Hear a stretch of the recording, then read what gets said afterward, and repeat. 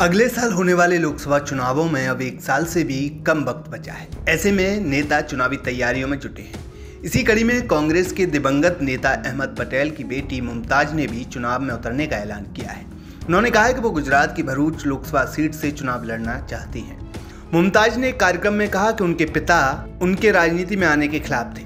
लेकिन अगले साल 2024 में लोकसभा का चुनाव लड़ना चाहती हूँ, मुमताज़ ने कहा कि वे इसके लिए तैयारी कर रही हैं।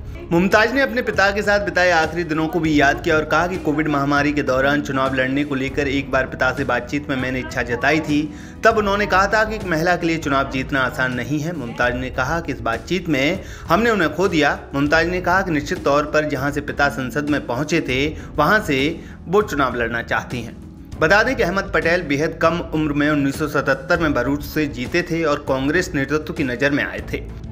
भरूच से मुमताज़ के लिए राह काफ़ी मुश्किल नज़र आ रही है। भरूच लोकसभा सीट बीजेपी का गढ़ मानी जाती है और इस सीट पर बीजेपी का 35 साल से कब्जा है। उन्नीस सौ नवासी में पहली बार बीजेपी ने यहाँ जीत दर्ज की थी, जिसके बाद वो लगातार जीतती आ रही है। 2019 लोकसभा चुनाव में यहाँ से बीजेपी नेता मनसुख बजावा ने लगातार छठवीं बार जीत दर्ज की थी। ऐसे में देखने वाली बात यह होगी कि क्या मुमताज़ बीजेपी के इस मज़बूत किले को भेद पाएँगे? बीजेपी कांग्रेस के साथ ही सीट पर आम आदमी पार्टी की भी नज़र है। ऐसे में इंडिया गठबंधन से कौन उम्मीदवार होगा, ये भी देखना दिलचस्प रहेगा। बता दें कि मुमताज़ ने चुनाव की तैयारियाँ शुरू कर दी हैं, वो काफ़ी सक्रिय दिखाई दे रही हैं। पिछले दिनों उन्होंने कांग्रेस के राष्ट्रीय अध्यक्ष मल्लिकार्जुन खड़गे से मुलाकात की थी। गांधी परिवार से भी उनकी काफ़ी नजदीकी है, वे भरूच के मुद्दों को भी उठा रही हैं। पिछले दिनों उन्होंने नितिन गडकरी से मुलाकात की थी और हाईवे से जुड़ी मांगों को रखा था। पिछले चुनाव में मुमताज़ ने प्रचार किया था, हालाँकि वो चुनाव नहीं लड़ी थी।